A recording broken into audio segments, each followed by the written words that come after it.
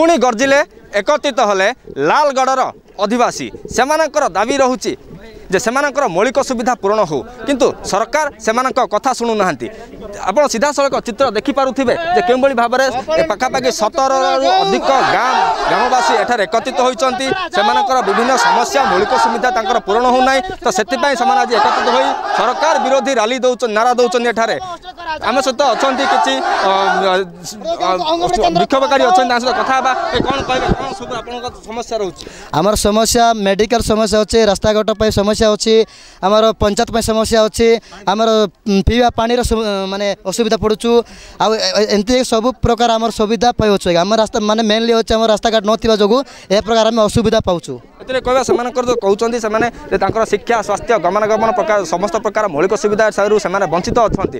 ଆମେ ଆଉ ଜଣଙ୍କ ସହିତ କଥା ହେବା ଯେ କ'ଣ କହିବେ ଆଗରୁ ପୂର୍ବରୁ କାହାକୁ ଜଣାଇଥିଲେ ଯେ ଆପଣଙ୍କ ସମସ୍ୟା ବିଷୟରେ କାହାକୁ ଜଣାଇଥିଲେ କି? ହଁ ବହୁତ ଥର ଏମିତିରେ ଏମିତିରେ ବି କି କଲେକ୍ଟର ଅଫିସରେ ବ୍ଲକ ଅଫିସରେ ସବୁ ଜାଗାରେ ଦରଖାସ୍ତ ଦେଇଛୁ ମଧ୍ୟ ରାଲି ମଧ୍ୟ କରିଛୁ।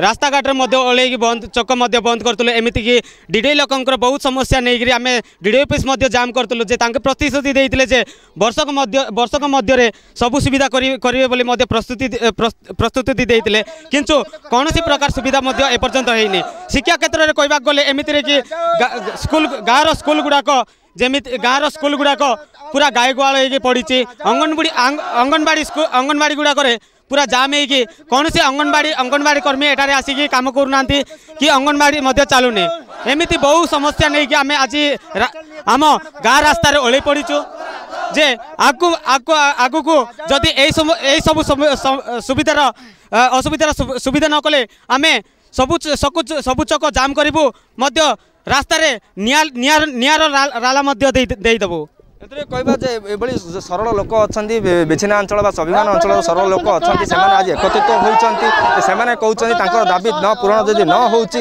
ତାହେଲେ ସେମାନଙ୍କ ଆଜି ରାଜରାସ୍ତା ଓହ୍ଲାଇବେ ବିକ୍ଷୋଭ କରିବେ ନିଆଁ ଜଳାଇବେ ଏଭଳି ବିଭିନ୍ନ ପ୍ରକାର ନାରା ଦେଇ ଆଜି ବାୟାପାଡ଼ା ଯେଉଁ କହିବା ନାକାମୁଡ଼ି ପଞ୍ଚାୟତର ବାୟାପାଡ଼ାରେ ପାଖାପାଖି ସତରରୁ ଅଧ- ଅଧିକ ଗାଁ ଲୋକ ଏକତ୍ରିତ ହୋଇଛନ୍ତି ଶତାଧିକ ଲୋକ ଏକତ୍ରିତ ହୋଇ ସରକାର ବିରୋଧୀ ରାଲି ଦେଉଛନ୍ତି ନାରା ଦେଉଛନ୍ତି ସରକାର ବିରୋଧୀ ରାଲି ଦେଇ ସେମାନେ କହୁଛନ୍ତି ତାଙ୍କର ଦାବି ପୂରଣ ହେଉ।